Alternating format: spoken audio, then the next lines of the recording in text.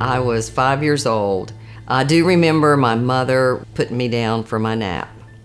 And grandmother would listen for me while, you know, mother was out doing chores or like this day, borrowing the vacuum cleaner. She heard noise, she came to the stairwell and it was blazing.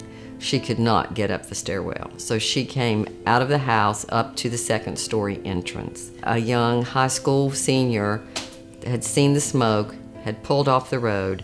She told him where I was. He came in the house, got me out, and actually took me to the hospital. They believe that the fire started in a light bulb that hung down over the stairwell. In those old houses, the, the light bulb just hung on a wire. My family, my grandmother, my mother in particular, all of my life, I heard them say, This happened to you for a purpose. There was a time in my life when I questioned the purpose. I had applied to go to college and I was going to be a physician's assistant.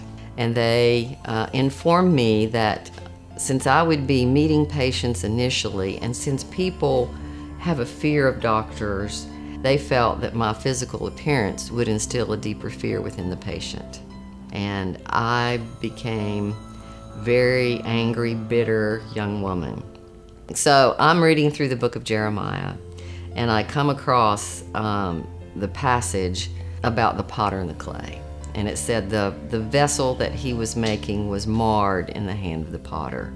So he remade it again as seemed good to the potter. And I wept. I sobbed. And I knew that day that God had reshaped me and remade me, and it might not seem good to everybody else, but it was good to Him because He was the potter and I was the clay. There is this Japanese pottery that is called kintsugi. And the Japanese do not throw away these pots or dishes just because they're old and worn. They use this process of resin and either gold or silver and they repair these pots. And so that's kind of how I see burn survivors. You know, they're like this piece of pottery that has been restored and renewed, and it's just absolutely beautiful.